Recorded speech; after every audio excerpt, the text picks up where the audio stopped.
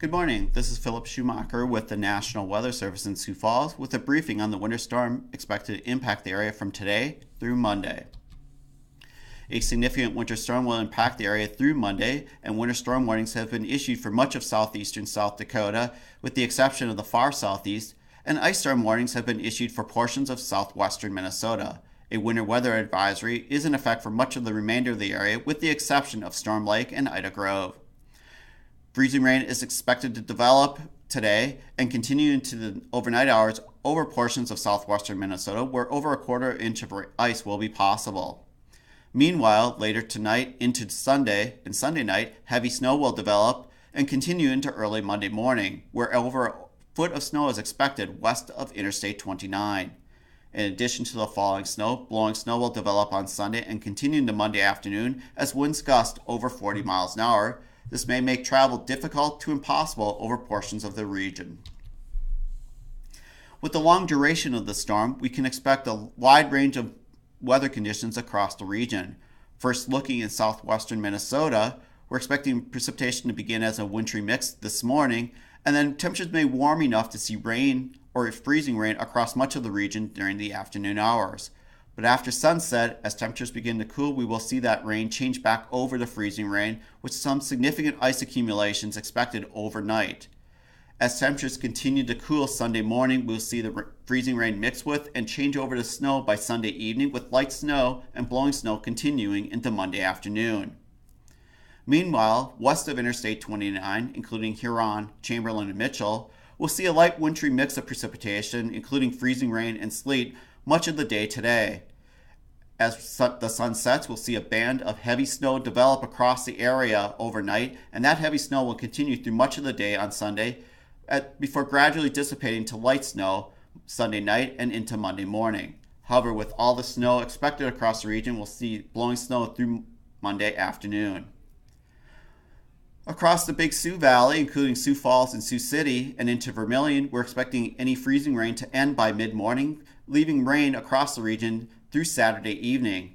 Temperature will then begin to cool, and we'll see a wintry mix of sleet, freezing rain, or rain across the area, gradually changing over to snow by Sunday afternoon, with snow and blowing snow continuing into Monday. And finally, for Storm Lake and Spencer, we'll see rain much of the day today and through tonight. Cold air will finally work into the area Sunday afternoon with a wintry mist ex expected, with that precipitation finally changing over to snow Sunday night and continuing into Monday afternoon. Looking at that ice accumulation forecast, we are expecting the greatest ice accumulations over southwestern Minnesota, primarily later this afternoon and overnight, where we could see over a quarter inch of ice through the area.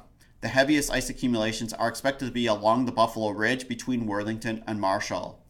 With the ice accumulations, we could see some ice accumulate on untreated elevated surfaces, including bridges, and on branches and power lines. This may result in some down branches and even some isolated power outages later tonight into Sunday. In terms of snowfall, we'll see the heaviest snowfall west of Interstate 29, where the band of snow is expected to develop later this evening and continue into Sunday. Anywhere from 8 inches to over a foot of snow is possible west of Interstate 29. However, as you move farther east, due to the delay in when the snow will begin, we'll see lesser amounts of snow with generally 4 to 6 inches around Sioux Falls and only an inch or two of snow around Spencer and Storm Lake. Regardless of where the snow falls, we will see roads become snow covered across the region at various times during the storm, with the ha most hazardous conditions expected to be west of Interstate 29, where the heaviest snowfall will be. We're looking for heavy rainfall over portions of northwestern Iowa with this storm as well. Anywhere from one and a half to over two inches of rain is possible. With the ground partially or totally frozen, excessive runoff of that rain is possible, and we could see ponding of water in low-lying areas. In addition, it is possible some creeks and streams, including the Big Sioux River south of Sioux Falls and the Little Sioux River, will rise to near or even above flood stage by early next week. Again, we are looking at freezing rain in southwestern Minnesota, which may result in some downed tree branches and power outages through Sunday morning.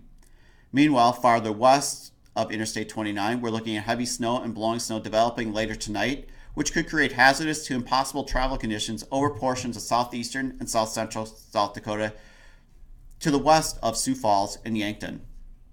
Heavy rainfall over northwestern Iowa may result in some area creeks and rivers rising to near or even above flood stage by early next week. If you are planning travel over the next three days, please look at the latest forecast. And if you're traveling across portions of Nebraska, South Dakota, or North Dakota, you may have to delay or even cancel your travel plans until early next week.